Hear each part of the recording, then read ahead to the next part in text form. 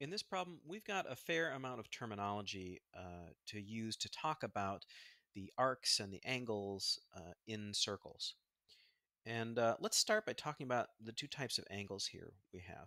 Uh, the first is this type of angle where the vertex of the angle is at the center of the circle. This is called a central angle. And uh, the thing about a central angle is whatever degree that angle is, it cuts off that many degrees of the arc. So this is 70 degrees of the way around a circle. That's probably easiest to see if you just um, draw a 90 degree angle. It becomes pretty obvious. So if you have a 90 degree angle starting from the center of your circle, so you can see that's a 90 degree angle and it's a fourth of the pie here. So it cuts off a fourth of the way around 360 degrees. So this is going to be 90 degrees of arc.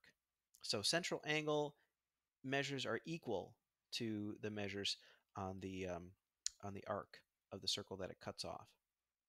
Now, the other type of angle would be one that starts all the way on the other side of the circle. So this angle I just drew cuts off the same degrees of, of arc. It's clearly a smaller measure down here than 90 degrees. And in fact, it's exactly half. This type of angle is called an inscribed angle. And actually, let's see if we can find one in our diagram here. I'll put this in a different color. So if we start at I and go out to G, and then start at I and go out to J, what we have there is an inscribed angle. So it starts at one end of the circle and cuts off an arc at the other end of the circle. There are some special names for arcs as well. Um, when we're going around the outside of a circle here, if we name two points, that'll give us a minor arc. So if we said, I don't know, HI, that would be a minor arc. Then the rest of the circle would be a major arc. We always name major arcs with three points because um, to get all the way around the other direction, uh, you've got to uh, identify that. If we said arc HI and we meant this direction around, cutting off the major arc, well, it would be confusing because you could decide it was this way around. So if we wanted to name this major arc between H and I, we would say HGI or HJI. But the bigger of the two would be the major arc, the smaller of the two would be a minor arc. And then finally, a semicircle is just half of a circle, and you probably knew that already. But the trick is that if you find a diameter, here's a diameter from G to I, what that means is that it cuts the circle exactly in half. So there'll be 180 degrees of arc over here and 180 degrees of arc over here.